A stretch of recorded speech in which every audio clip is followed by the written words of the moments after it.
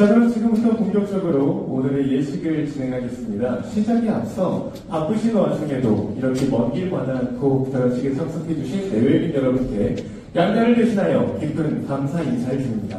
이 입장을 마치고 내빈 여러분 앞에 완벽하게 모습을 드러냈습니다. 아마 지금 이 순간이 가장 긴장되고 떨리는 순간이 아닐까 생각되는데요.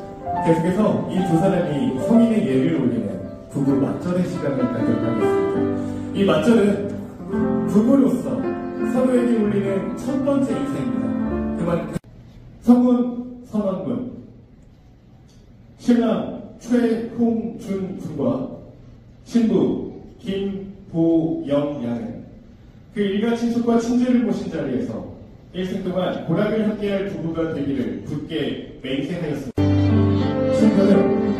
이렇게 아름답게 낳아주시고 또 길러주신 부모님의 은혜에 감사드리는 마음으로 인사를 드리겠습니다.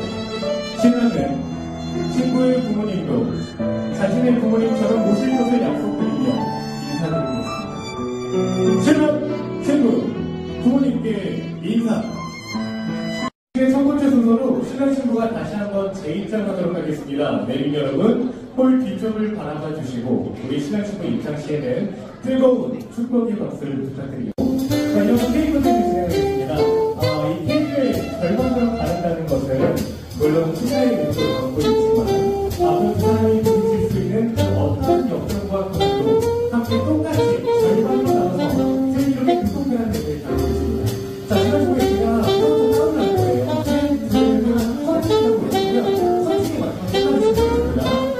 Hallelujah.